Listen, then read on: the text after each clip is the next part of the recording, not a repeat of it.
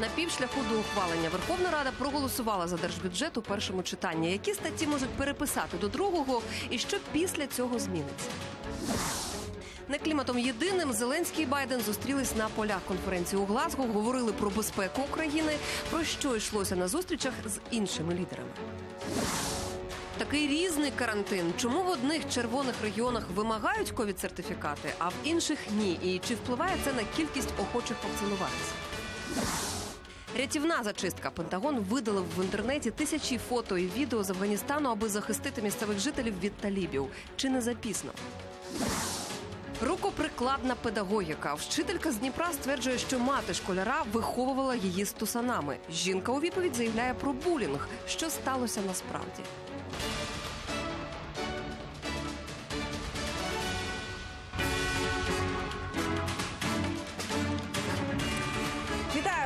20-та. В ефірі подробиці І про головні події цього дня розкажуть мої колеги у студії Наталія Білешева.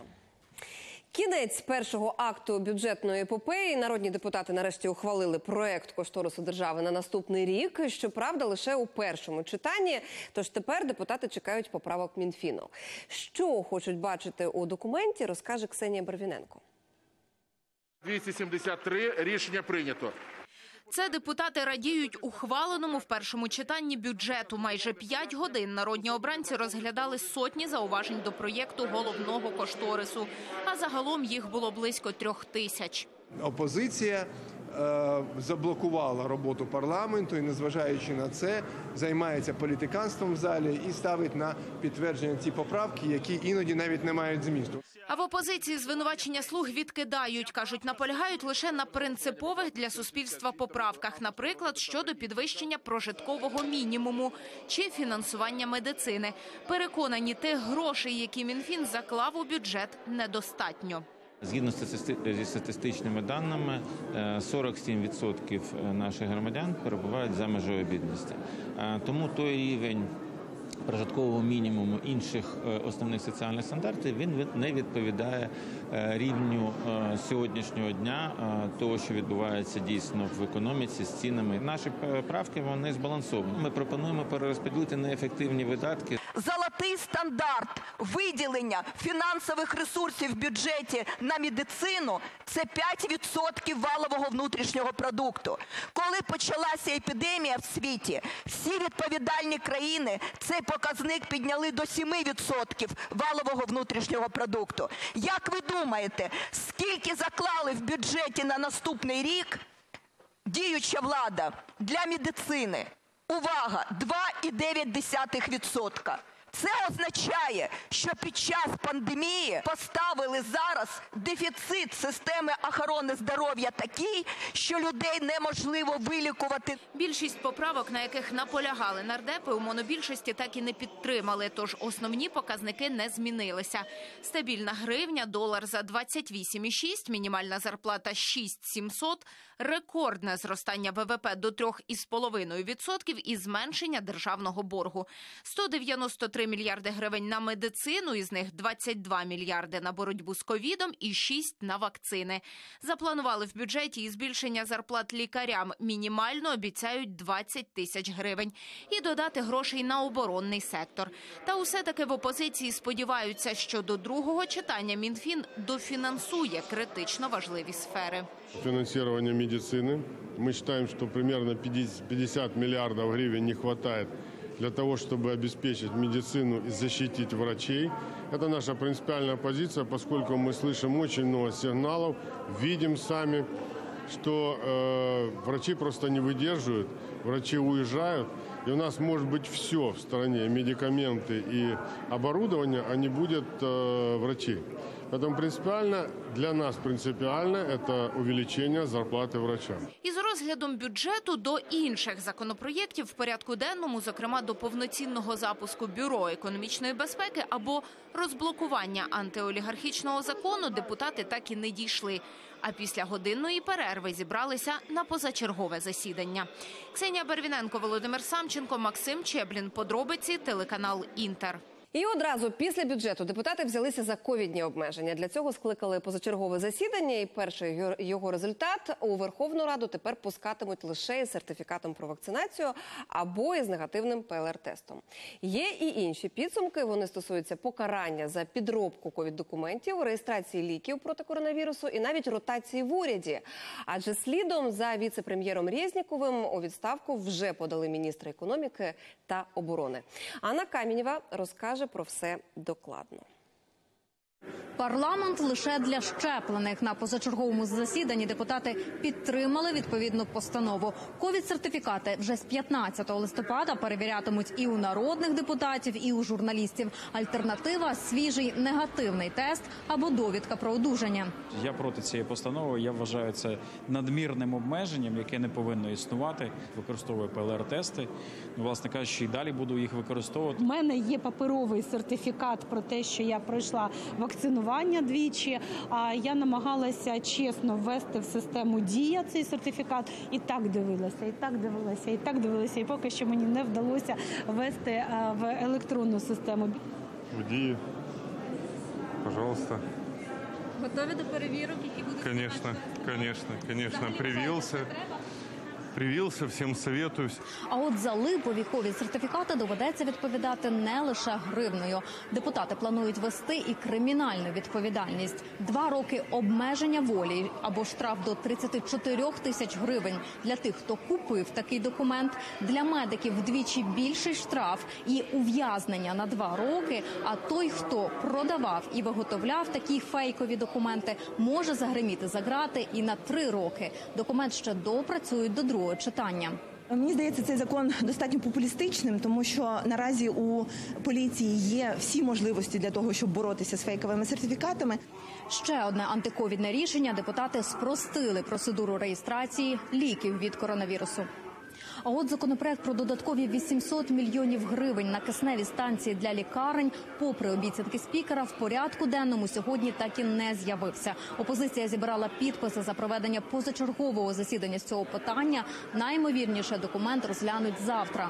І ми не перекриємо цим законопроектом вже чинну хвилю епідемії, але нам треба нарешті навчитися планувати наперед, знаючи, що нас точно очікує ще одна хвиля епідемії взимку. Ми вимагаємо забезпечити всі ковідні відділення ще й генераторами. Для чого? Щоб уникнути масового мору у випадку віялових відключень електроенергії, бо влада дилетантів забула підготувати енергетику до зими.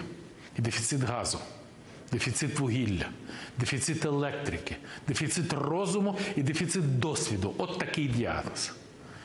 І тому ми вимагаємо створити нову бюджетну програму, яка називається Централізовані закупівлі кисневих станцій для опорних закладів охорони здоров'я. Водночас головна тема в кулуарах кадрові ротації в Кабміні. Сьогодні заяву на звільнення таки написав перший віце-прем'єр, міністр економіки Олексій Любченко. На посаді він не пробув і півроку. Монобільшість напередодні рекомендувала йому піти за власним бажанням. Мовляв, у прем'єра багато претензій до міністра. Реформа корпоратизації, яка, на думку прем'єр-міністра, не рухалася взагалі. І якщо він негативно оцінює а, діяльність одного з міністрів, ми повинні прийняти а, од- одне з двох рішень: або ми відправляємо відставку прем'єр-міністра, або ми відправляємо відставку першого віце-прем'єр-міністра. Замінити Любченка на посаді може заступниця голови офісу президента Юлія Свереденко. Урядові портфелі заберуть ще у чотирьох міністрів: екології, оборони, стратегічної промисловості та реінтеграції тимчасово окупованих територій. В опозиції пропонують монобільшості на цьому не зупинятися і звільнити всіх. Более бездарного правительства, не имеющего своего лица, провалившее все, и отопительный сезон, и борьбу с эпидемией, и экономические м, проблемы, которые накопились в стране с предприятиями. Вот более бездарного правительства еще, наверное, в истории Украины не было. Поэтому мы с удовольствием проголосуем за отставку всего правительства. Звільняти міністрів планують уже завтра, а призначати нових у четвер. Анна Каменєва, Василь Міневчуков. Подробиці телеканал Інтер. У них вже майже однаковий кредит довіри у слуг та опозиційної платформи за життя. За даними Київського міжнародного інституту соціології, якби парламентські вибори відбулися наприкінці жовтня, то у цих двох партій 18 і 17% голосів респондентів відповідно. Третя батьківщина в неї 15,5% і майже такий самий результат у європейської солідарності. А ще прохідний 5% бар'єр долає партія Сила і честь. Вони знову зустрілися. Володимир Зеленський і Джо Байден цього разу на кліматичній конференції у Глазго. Про що говорили, кого зі світових лідерів запросили за королівський стіл, і що на зустрічі високих гостей робив Леонардо Ді Капріо. Про все це розповість наша британська кореспондентка Світлана Чернецька. Вечеря в колі світових лідерів та членів королівської родини делегатів кліматичної конференції приймали в найбільш відвідуваному музеї Шотландії художній галереї Келвін Гроув. У дусі саміту гості прибули електроавтобусами, щоб не забруднювати атмосферу. Це перша з початку пандемії неформальна зустріч понад сотні керівників держав під одним дахом. Після довгого дня важливих дискусій можна і розслабитися. Мені здається, що це мені потрібно після сьогоднішнього дня. Наступник престолу принц Чарльз із дружиною Камілою, його син принц Вільям із дружиною Кейт. На саміті чекали і її величність королеву. Та візит їй довелося скасувати, бо лікарі порадили відпочити. Натомість Єлизавета II записала відеозвернення до світових лідерів. Напевно, дуже вдало, що ми всі зібралися в Глазго, місті, яке колись було серцем індустріальної революції. А зараз тут вирішують проблеми змін клімату. Багато людей сподіваються, що напрацюванням цього саміту, який закарбується в історії, стане опис вас як лідерів, які не втратили нагоди і відгукнулися на заклик майбутніх поколінь. А святкувати є, що у перший день зустрічі вдалося ухвалити справді історичне рішення. 110 світових лідерів домовилися зупинити масове вирубування лісів до 2030 року. Серед підписантів і Україна у рамках угоди зберуть понад 19 мільярдів доларів, і частину цих грошей виділять країнам, що розвиваються. Ліси надважливі в боротьбі з кліматичними змінами, адже поглинають велику кількість вуглецевого газу.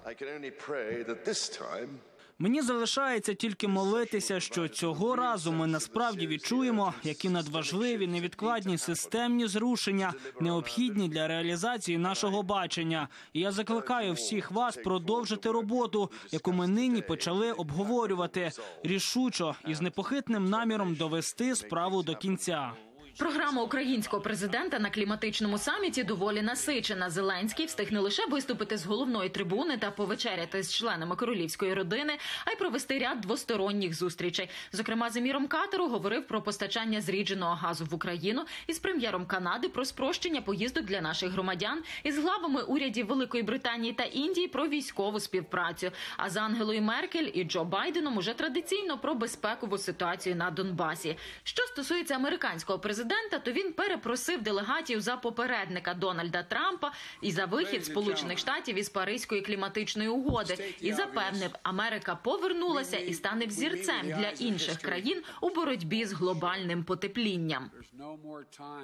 Часу ігнорувати, утримуватися чи сперечатися між собою не лишається. Це екзистенційна загроза для людства. І з кожним днем ціна нашої бездіяльності зростає. Ми можемо все змінити.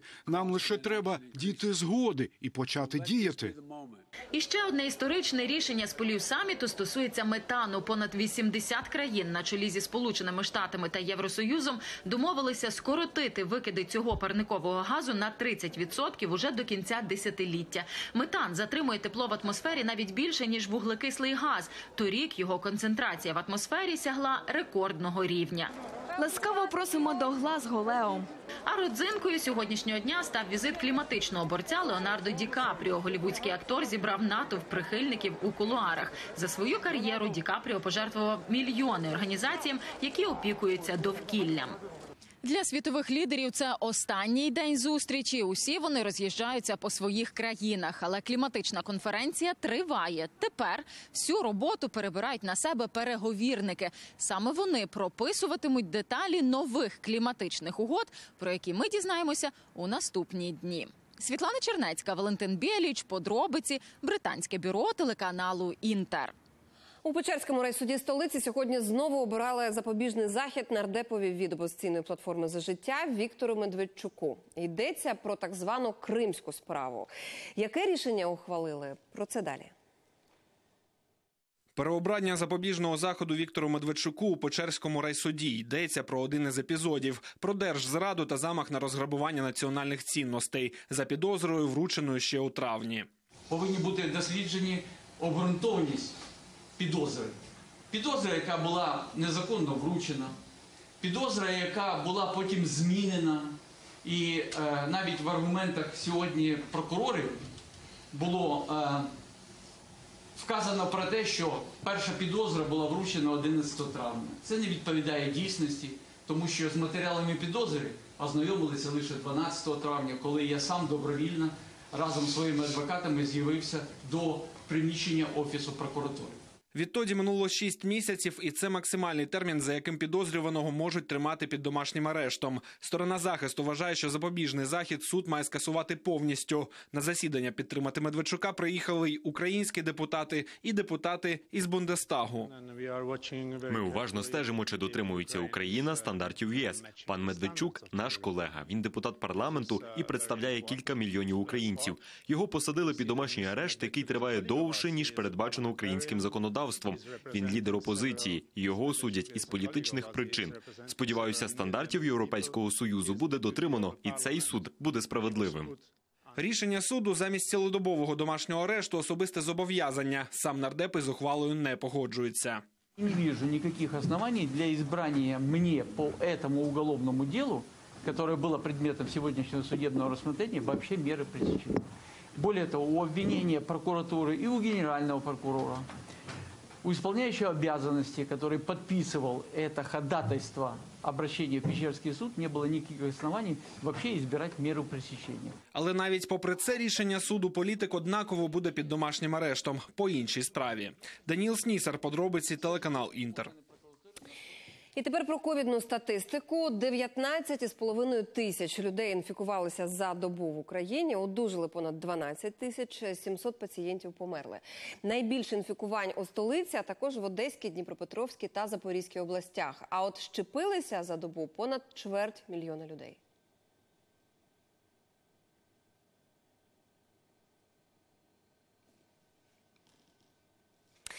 І головним стимулом для вакцинації безумовно став локдаун, бо вже 15 українських областей почервоніли. А отже, там діють жорсткі обмеження. Які з цих обмежень можна може скасувати ковід-сертифікат, а де його не вимагають про особливості регіонального локдауну? Далі. Уже другий день у міському транспорті Запоріжжя без ковід-сертифікатів чи тестів не проїхати. І якщо до тролейбусів чи маршруток пасажири заходили без обмежень, бо водії документи не перевіряють, то доїхати до своєї зупинки змогли не всі. За відсутність певних документів є відповідальність. Якби кожен пасажир буде Уголовное. ні, не кримінальна, це адміністративна відповідальність. Тому попрошу, будь ласка, всіх, хто не надав документи, вийти з маршрутного транспортного засобу. Такі рейди на всіх міських маршрутах порушників поки що лише попереджають про штрафи, і жителі Запоріжжя, схоже, розуміють, що такі поступки тимчасові. За останні два тижні кількість проведених щеплень в день збільшилась більш ніж в два рази з 4,5 до 10,5 тисяч. Наразі на території області працює 15 центрів масової вакцинації, 125 пунктів щеплення, працює 40 мобільних бригад. А от у Львові в громадському транспорті дозволяють їздити без ПЛР-тесту чи сертифіката про вакцинацію. Щоправда, може бути заповнена лише половина місць для сидіння. Та й цих правил дотримуються не всі. Ось до зупинки під'їжджає переповнений комунальний автобус, і нові пасажири заходять всередину. Маршрутка повністю заповнена. Не заповнена, ні. Порушують карантинні вимоги і інші водії маршруток. Зранку їхала 47-м, це була повна, повнезна, і ні зауважень не було. Люди стояли битком, так що вибірково діють. Слава Богу, всі в масках, е, але заповнені маршрутки набагато більше, чим, чим потрібно. Щоправда, з водіями-порушниками борються. За три дні жорсткого карантину поліція склала два протоколи за перевищення кількості пасажирів. Тепер цим керманичам загрожує штраф щонайменше 17 тисяч гривень. Та збитків зазнають не лише водії-порушники. Ті, хто дотримується усіх обмежень, невдоволені доходом. А каса впала. Наскільки? Наскільки на 70% то 100%. Гарантія. До пунктів вакцинації у Львові черги. Чому не щепилися раніше? У кожного свої причини. Боялася. Я вже стара і думала, я як-небудь доживу. А тепер хочеться до внуків прийти в гості. І діти кажуть, вперед, от стою. Померла від коронавірусу моя землячка. Так. І насторога. Так. Ні, ну я планувала, але я була захворіла ще на бронхіт і так не йшла. Чоловік вакцинувався в Польщі, е, дочка піде також. Христина Шенко, Юрій Голубінка, Сергій Бурдюжа, Ігор Воробій. Подробиці. Телеканал Інтер. Отримати ковід-сертифікат у дії відтепер можна без цифрового підпису. Про це нововведення розповіли у Мінцифри. Аби згенерувати перепустку свободи через застосунок або інтернет-портал, власникам біометричних закордонних паспортів або id карток достатньо лише пройти ідентифікацію. А вже за кілька днів пообіцяли, як пообіцяло у міністерстві, скористатися цією послугою зможуть і власники паспортів старого зразка. Ми прийняли рішення, що будемо відкривати такі офлайн-точки для консультування українців щодо отримання ковідних сертифікатів. Перші такі точки запрацювали ще кілька тижнів в аеропорту Бориспіль. Ми плануємо розгорнути отакі команди підтримки дії фактично по всіх регіонах і по всіх масових точках вакцинації. Скупчення ворожих військ біля українських кордонів немає. Інформацію західних ЗМІ, ЗМІ про те, що Росія стягує армію та озброєння, заперечив секретар РНБО Олексій Данілов. За його словами, такі повідомлення це навмисна дезінформація. На Донбасі загинув український військовий. Це сталося поблизу Причепилівки. По наших позиціях у цьому районі ворог вдарив із мінометів забороненого калібру. А більше про ситуацію розкаже Руслан Сміщук.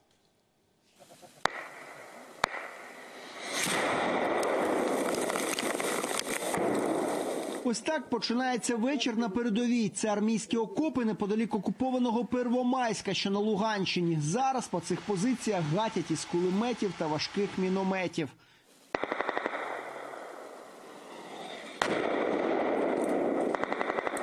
Вояки кажуть, такі обстріли тут трапляються через день. Ну, останнім часом вони почали якби зачищати в е, цьому плані, почали працювати з птурів, з артилерії, з там 120-х е, мінометів.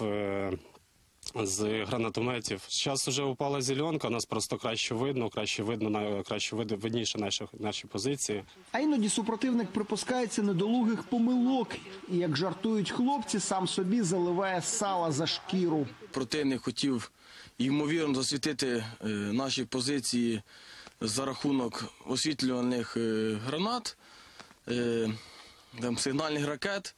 Ну, в принципі, як завжди, в них сталася, сталася невдача, і вони підпалили свої позиції. І вогонь розгорівся занадто близько до наших позицій, але врешті до нас вогонь не дійшов, Армійцям допоміг вітер, змінив напрям і погнав полум'я на ворога. А от від прицільного вогню з гармат іноді навіть укріплення не рятують. Так днями в результаті артобстрілу тут поранили одразу двох солдатів. Зараз стан е, стабільний військовослужбовців. Е, ну, бачите дану ситуацію. Ворог бив прицільно в даному апараті. Е, можна подивитися правіше, зразу приблизно воронки від самих снарядів, які розривалися. Ну і сам бліндаж, який нас, бачите, перед собою був зацеплений, почав горіти. Перед початком обстрілу армійці помітили в небі безпілотник. Для них це вірний знак, висока ймовірність артилерійського удару. Перед тим літав коптер, е, який е, визначав, де, де є техніка і е, де на- знаходиться особовий склад. Це було десь ну, приблизно 11 година. Після цього він відлетів на свої позиції ну, сепарські. Що ж до загальної картини на фронті, ситуація напружена, але контрольована. На кожен потужний ворожий обстріл наші захисники відповідають адекватним вогнем. З Луганщини Руслан Смещук, Вадим Ревун та Ігор Щепет. Подробиці телеканал Інтер. Колишній лідер правого сектору Дмитро Ярош став радником головнокомандуюча збройних сил України Валерія Залужного. Про це він повідомив сам у своєму Фейсбуці, де виклав фотографію посвідчення. А пізніше заявив, що вже має конкретні проекти і плани, які озвучить Залу- залужному. Я нагадаю, що ім'я Дмитра Яроша стало відомо у 2014 році, коли він очолював правий сектор. Потім він був народним депутатом. І, до речі, зараз е, також керує добровольчим корпусом.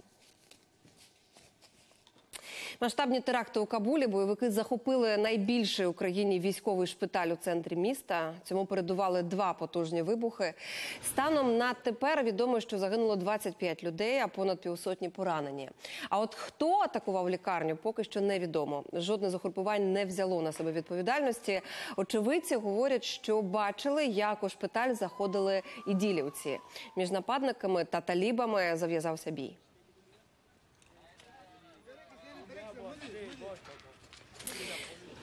А Захистити від талібів своїх союзників афганців досі намагаються у Пентагоні. Американці прибрали з публічного доступу тисячі фото та відео, знятих в Афганістані. Це спроба врятувати від помсти тих місцевих, які співпрацювали зі штатами. Що загрожувало цим людям і як військові все це організували, розкаже Дмитро Анопченко.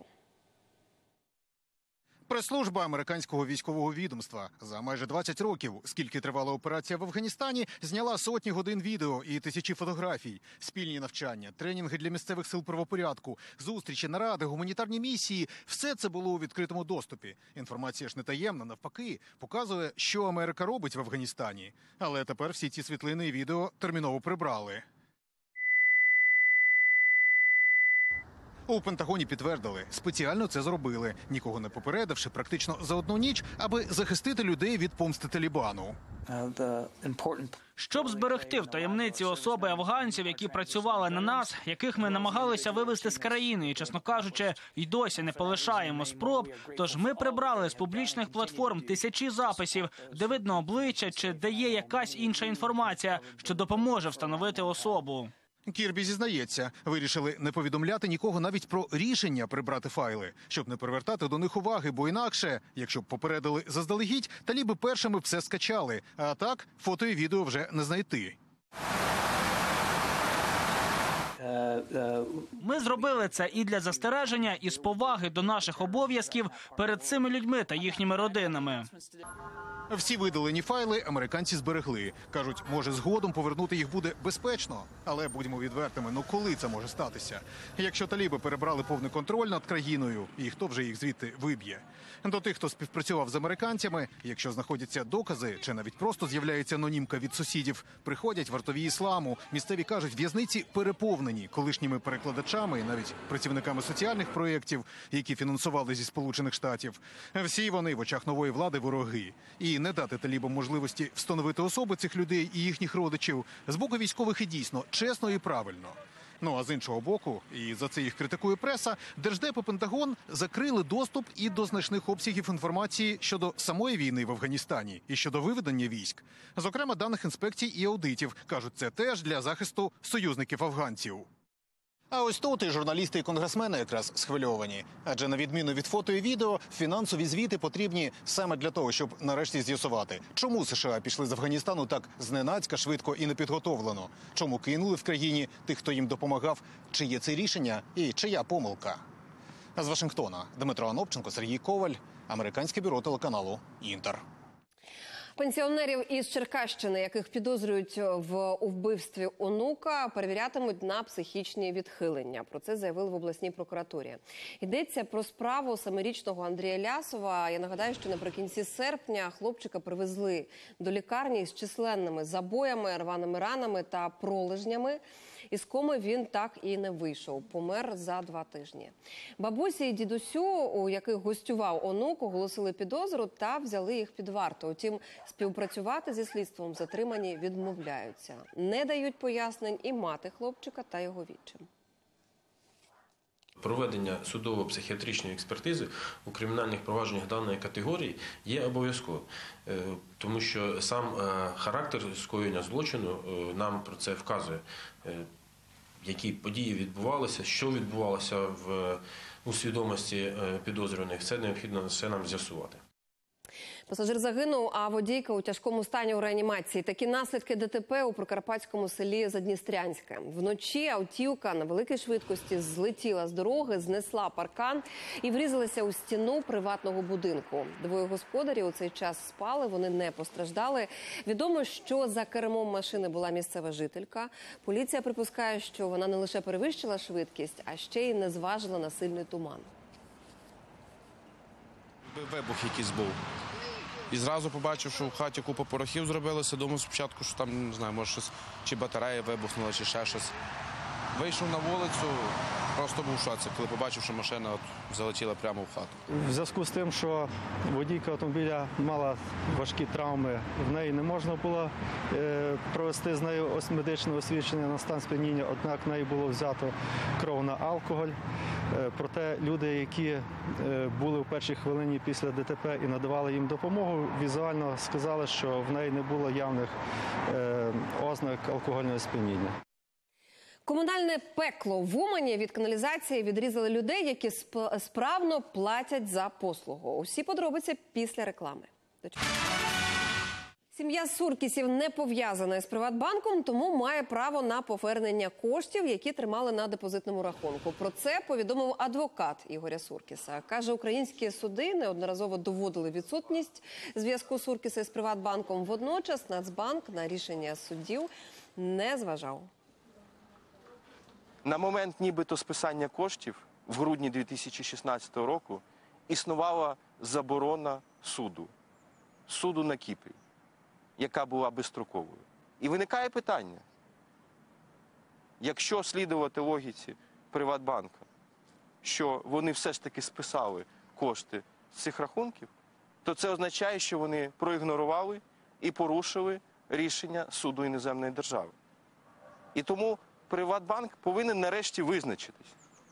Він або бреше, і кошти не списані з рахунків, або все ж таки кошти списані, але вони тоді, але тоді означає, що Приватбанк, його представники порушили рішення суду і повинні за це понести кримінальну відповідальність. Кошти доведеться повертати. Інше питання скільки, оскільки з кожним днем ця сума зростає і буде зростати. Тому мені здається, що нарешті в цьому питанні потрібно поставити вже крапку. Зиму без енергетичних катаклізмів та віявлих відключень обіцяє українцям уряд. Прем'єр Денис Шмигаль сказав про це під час поїздки до Запоріжжя, де він відвідав найбільшу у Європі Запорізьку атомну електростанцію. Термін експлуатації енергоблоків там продовжили ще на 10 років. Тож, за словами прем'єра, це зміцнить енергетичну безпеку країни.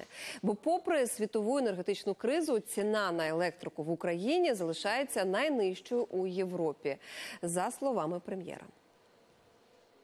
Я хочу наголосити, тариф на електроенергію для населення в Україні встановлений, і протягом е, цього року, наступного року, він буде 1 гривня 44 копійки для е, людей, які споживають до 250 кВт електроенергії, і гривня 68, тобто це незмінний тариф, таким як він був, лише для тих, хто споживає більше. І жодних змін не відбувається і не буде відбуватись. Це також стабільні тарифи, зафіксовані урядом затверджені, і так постачається електроенергія населенню. Плати за тарифами і отримай відключення. Мешканці одного із будинків в Умані вже тиждень від'єднані від каналізації, хоча претензії місцевий водоканал має не до них, а до тепличного комбінату, який має спільну мережу із цим будинком. Скільки ще доведеться терпіти людям, дізналися мої колеги. Ви будинок відключили від каналізації, від водовідведення. Поясніть чого. 12 сімей із цього будинку живуть без каналізації вже тиждень. Що я кричу? Бо ви закрили каналізацію людям, які платять, дитина мала. Ми сьогодні будемо вирішувати це питання. Вони стали заручниками ситуації. Умань-водоканал відключив водовідведення у тепличному комбінату. Але ж цими мережами користуються і мешканці сусіднього будинку. Дітки маленькі, потрібно і ручки помити, і постирати, і покупати. А ніхто ніхто не дає, да, ніхто не, не дає дозвіл зливати каналізацію. Як можна прожити? Потім водоканал заблокував каналізацію машиною. Колесо стало прямо над люком. Мешканці впевнені, це зробили, аби ніхто не спустився в колектор. Та у водоканалі кажуть, автомобіль поламався. Ну, мають завтра чи в крайній случай післязавтра прийти з запчастинами, а вона поїде сама. А поки комунальний транспорт охороняють молодики у формі. Кажуть, що ви тут тиждень стоїте на цьому цей. Без, без коментарів, без На комбінаті кажуть, виробництво може працювати без каналізації та водовідведення потрібне для робітників. Неможливо після роботи вимити гарно руки, е, туалет сходити, душ прийняти. Голова Паланської територіальної громади переконаний, перекриття каналізації рішення вмотивоване і політично, і насамперед фінансово. Бо Уманський тепличний комбінат зараз платить податки Паланській ОТГ, а влада Умані хоче, аби гроші йшли їй. Тепличний комбінат е, сплачує близько 11 мільйонів ПДФО в наш е, бюджет. І 3 мільйона десь додатково на нашу громаду йде на е, спорт, на школи, на дороги, на інфраструктуру. Міська рада ставить за ціль, щоб це підприємство почало платити свої податки в міський бюджет. Хоча селища громади гроші потребують постійно, приміром на ремонт доріг, бо зараз у них заасфальтовано тільки чверть шляхів. І деякі такі розбиті, що навіть дітей до школи неможливо довести. Цієї весни ми змушені були на два дні припинити навчання, перевести дітей, які добиралися із села Томашівки на дистанційне навчання. Не може автобус проїхати цими дорогами. Ця е, життєво необхідна дорога. І сьогодні, як ніколи, нужні кошти і ще й великі кошти. У водоканалі звинувачення у політичній мотивованості відкидають. Кажуть, перекрили каналізацію через порушення і борги. Там майже 2 мільйони у них борг по сплаті ПДК. Після сплати і відно... е, надання всіх, е, всієї технічної документації для подальшої роботи. Якщо вони все, всі документи нам нададуть, я думаю, все ми їм відновимо. За постраждалий будинок переконують, це не їхня відповідальність. Це будинок е, взагалі він не, не має ніяких віднос, відносин з, з нашим підприємством. Ми не постачаємо туди ні воду, ні каналізацію. Ми намагалися потрапити до міської голови Умані Ірини Плентньової, аби дізнатися її позицію щодо ситуації. Та за словами секретаря, вона була у відрядженні і на контакт із нами досі не вийшла. Ну, ще Ірина Григорівна не звільнилася, в неї люди. Я їй при вас, вона знає. Тим часом у Паланській громаді планують звертатися до депутатів. Щоб вони перш за все законно унормували питання сплати ПДФО, щоб не було таких питань, що підприємства платять е, не за місцем свого знаходження. Та скільки ще людям із будинку, які стали заручниками ситуації, жити без каналізації? Василь Богайчук, Олексій Шматов, подробиці, телеканал Інтер. Справу щодо нападу на журналістів схем в Укрексімбанку передали до суду. Обвинувальний акт прокурори склали на чотирьох осіб, яких підозрюють у перешкоджанні професійній діяльності журналістів. І нагадаю, що інцидент стався у жовтні. Під час інтерв'ю із главою правління банку Євгеном Мецгером співробітники фінустанови відібрали у журналістів камери та стерли записи із носіїв. Утім, репортери їх згодом відновили. А внаслідок скандалу Мецгер позбувся своєї посади. Сьогодні міжнародний день припинення безкарності за злочини проти кореспондентів. Щороку Національна спілка журналістів України проводить громадські слухання із питань захисту їхніх прав. Бо нині ситуація тривожна. Зокрема, почастішали онлайн погрози, після яких трапляються і фізичні атаки. І від початку року у спілці зафіксували 59 нападів на журналістів. Фактично, ми говоримо про те, що в Україні кожні 5 днів трапляється інцидент із е, застосуванням сили до журналістів. Це побиття, це спалені машини, це синяки, це кулаки, це вибита і пошкоджена апаратура. Онлайн-атаки переходять у реальне життя, і принаймні от дослідження жінок-журналісток вони показують, що у 20 випадках фізичних атак є прямий зв'язок із попередніми онлайн-погрозами, які жінки-журналістки отримували. Напади на журналістів і далі відбуваються, і все це на тлі браку негайної реакції з боку правоохоронних органів на агресивну поведінку правопорушників на місці скоєння злочинів. Скандал у школі Дніпра. Вчительку математики побила ногами і довела до гіпертонічного кризу мати шестикласника. Принаймні так стверджує директорка. А от матір звинувачення відкидає. З обома сторонами конфлікту поговорила Олена Мендалюк. Кричала, що я тебе поб'ю, що я тобі переламаю руки, ноги. За своїх дітей я глотку всім порву. Директорка школи переповідає журналістам подробиці конфлікту між педагогом і матір'ю учня. Вчителька нібито відсадила хлопця за окрему парту, бо він бавився на уроці. Школяр поскаржився мамі. Та прийшла шукати правди, та ще й зі старшим сином. Після словесної перепалки, за словами директорки, дійшло до бійки. Підскочила ця жінка, почала бити її ногами, і її повнолітній син продовжували це побиття. Це трапилося на очах у дітей. Е, Діти вискочили з класу захистити вчительку, але вона їх назад направила до класу. Побита вчителька математики звернулася до шкільної медсестри та каже, педагога ледь не довели до інсульту. Она пожаловалась, что ее, вот, наверное, рассказала, что ее избили, у нее ноги болели. И она, я ей померила давление. У нее давление 180 на 100. У нее криз гипертонический был, ее все телепало. Я ее положила, дала таблеточку. Марина Владиславівна, так звати вчительку 56 років. Сьогодні вона таки вийшла на роботу, утім говорити з журналістами відмовилася. Натомість свою версію конфлікту розповіла мати шестикласника. Говорить про булінг щодо її сина з боку викладачки. учительница начала настраивать детей э, его класса э, из-за того, что он улыбнулся, там засмеялся. Я как мать прихожу и защищаю своих детей. Она забежала в класс, я попыталась за ней пойти, чтобы опять пообщаться. Старший син, який прийшов із матір'ю до школи, наполягає, педагоги й пальцем не торкнулися. Никогда такого не было. Для меня это табу поднимать э, ноги, руки э, на женщину. Нас даже тренера учили, что силу надо показывать в зале, а не на улице. Чи був напад, тепер встановлює поліція. Слідчі чекають на результати огляду постраждалої, а поки склали адмінпротоколи про дрібне хуліганство. Якщо у вчительки будуть тілесні ушкодження, наприклад, легкі тілесні ушкодження, то буде внесені відомості е, до ЄРДР з правовою кваліфікацією Т-125. Тобто все буде залежати від ступеню тяжкості тілесних ушкоджень. Від штрафу до адміністративного арешту на строк до 15 діб. Поки триває слідство, вчителька працює, а от шестикласника до школи мати не пускає. Планує перевести його на домашню форму навчання або шукатиме інший навчальний заклад. Олена Модарюк, Іван Біленко, подробиці, телеканал Інтер, Дніпро. Екотерапія проти насилля у харківському фельдман-екопарку започаткували проект, покликаний зменшити агресивну поведінку серед підлітків. Психологи розробили спеціальний опитувальник для батьків і дітей, щоб зрозуміти, зрозуміти стан дитини і вчасно допомогти.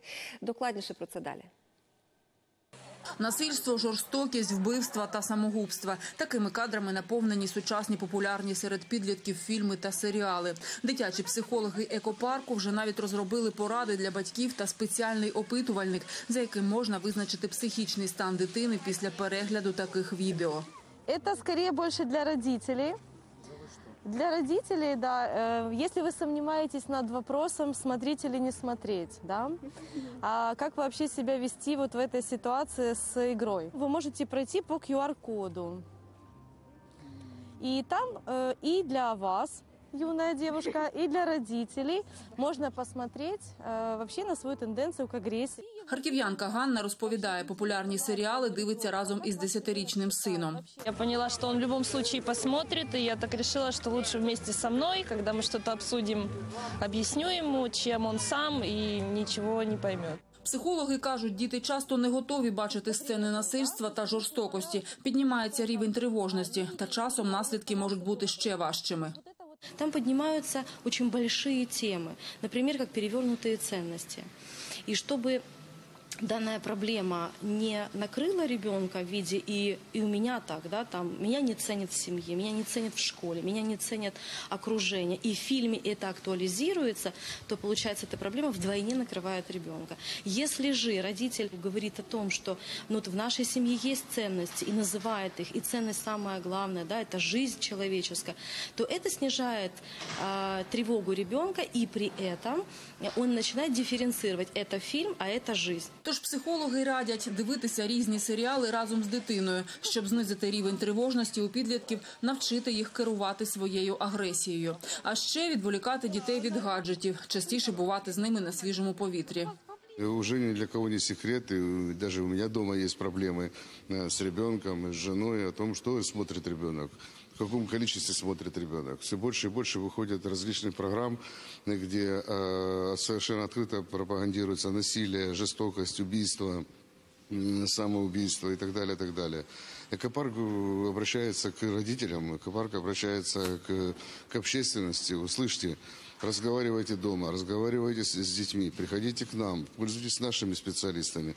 Просто разбавляйте его время свободное на э, гу- гуляние на природе, общение с э, живым миром и от, отвода его от этих механических игрушек. Усі заповнені анкети проаналізують психологи, оцінять стан дітей і запропонують, як на державному рівні боротися з дитячою агресією. Світлана Шикера, Олександр Яновський. Подробиці телеканал Інтер Харків. Турецькі лікарі успішно розділили півторарічних сіамських близнюків із Камеруну. Операція тривала 27 годин. Отра одразу ж після неї Мері і Елізабет змогли рухатися окремо одна від одної. Дівчат привезли до Туреччини у 9-місячному віці. Понад півроку вони були під наглядом хірургів. А батьки кажуть, що дуже щасливі, що зважилися на цю операцію. А ще сподіваються, що коли їхні доньки виростуть, то стануть лікарями. Такі в нас сьогодні новини. Приємного вечора. Побачимось.